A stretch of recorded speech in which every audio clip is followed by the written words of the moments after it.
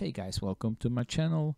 This is Zeproo and the title of this video is how to remaster old audio files into audible quality audio files. So on the screen you see the entrance of a club that is not existing anymore, created somewhere in the 80s. They closed down I think somewhere mid 90s but they had some really good DJs playing there. I found some nice tracks on YouTube like this one for example this is a very old audio track that was recorded back in 1993 but unfortunately they used those very old tape recorders analog tape recorders and I have to say the quality of the music which was great music great electronic music is not so good uh, unfortunately. And just uploaded this really bad audio quality to YouTube.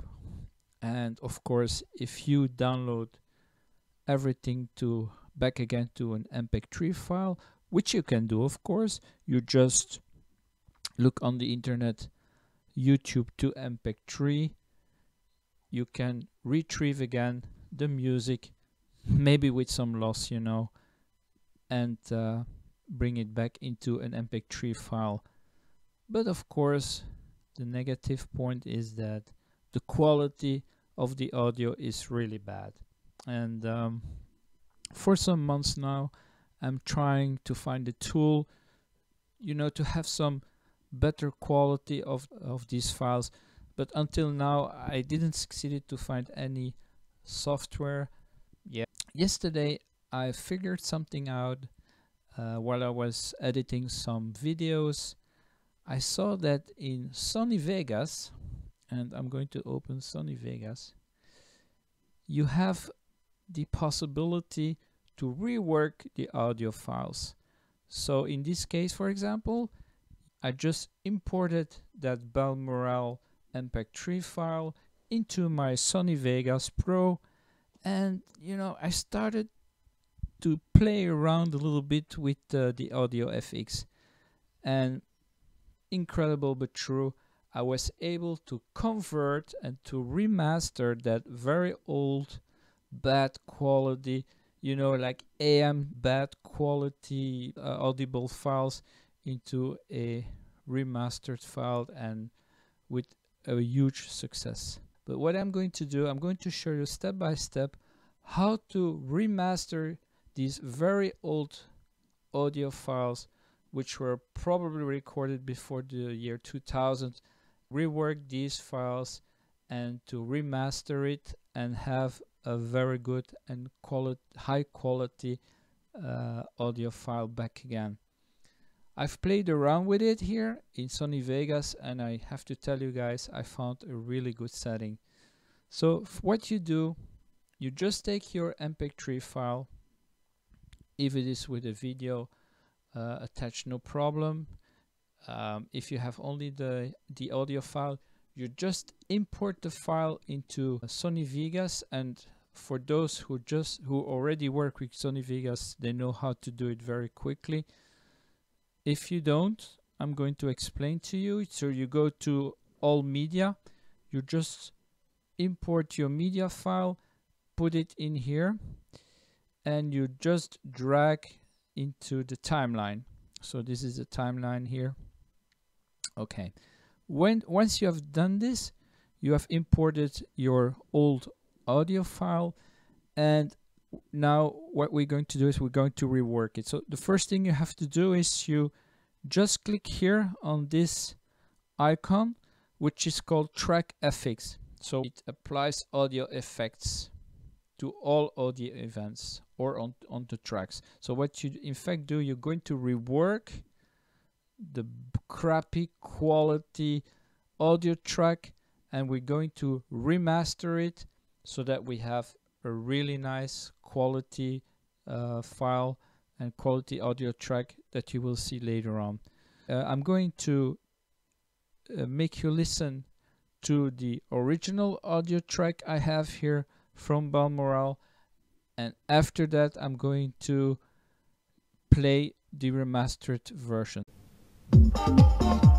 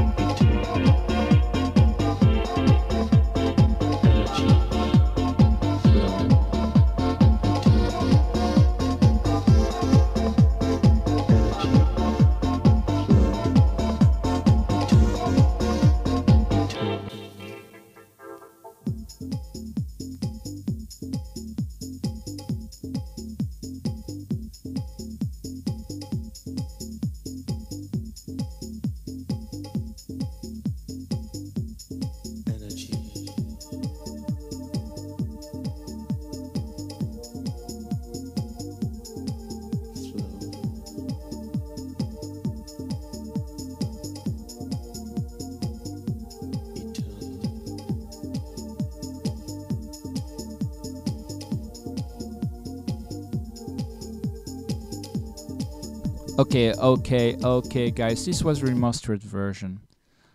Okay, follow my instructions now. Click on this icon. These are the audio track effects. These are the effects you can apply to your audio file. Click on this icon and you will see the plugin chooser. So these are all the plugins that Sony Vegas provides in the package. You have a lot of them. You have delay, distortion, dynamics, equalization, noise gate, etc., etc. Okay.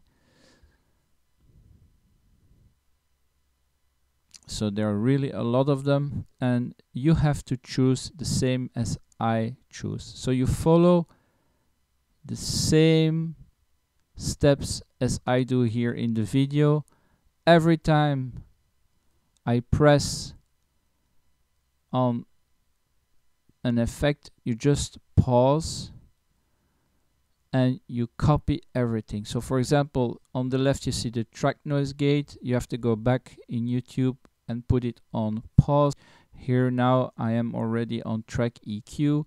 You just pause and you use exactly the same settings that I use to remaster my audio file. So I will give a little bit music here and go ahead and copy all of the settings to your system.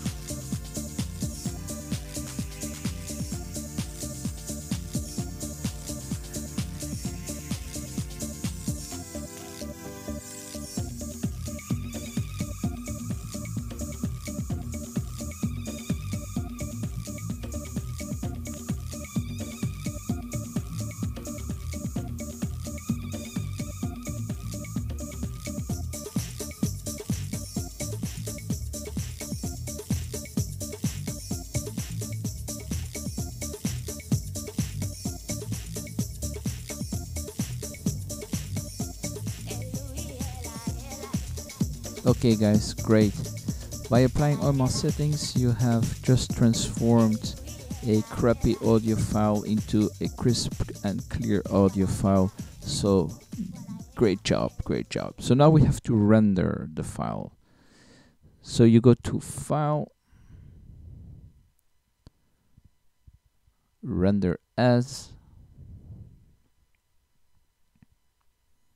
and you use the MP3 audio output format. You use 320 kbps and you render. Okay, super. Now your file has been rendered and we're going to play back your file. So to play back your file, I use Winamp. Now Winamp has a great tool. It's called a DSP plugin. Now the plugin is called Thimeo Stereo Tool. You have to download this tool. You go to the Winamp website and you download this tool. As you can see, it looks very fancy. Okay, so how do you go to apply the tool into Winamp? You click on the right bottom of your mouse. You go to Options.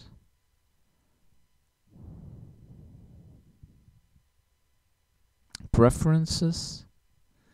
And you go to Plugins, DSP, Effect. So there you see Thimeo Tool 8.14 and you apply it. You open it. So now here you have the stereo tool. Now the stereo tool is a great option. It just creates a crisp and clear audio output of your remastered audio file. Now I use the settings 170106. So you have to go on Google and look for 170106.sts. Yes, that's the extension of these settings. Okay, once you downloaded the file, you go to load all settings and you use the 170.106.sts. Now, this is the final settings you have to do. You just load it. And right now you have an incredible, crisp, clear, fully remastered audio file coming from a crappy cassette music file to a crisp and clear audio music file. So again, we're going to play the difference. And um, yeah, thank you for watching my video and hopefully we'll see each other again later on. Bye bye.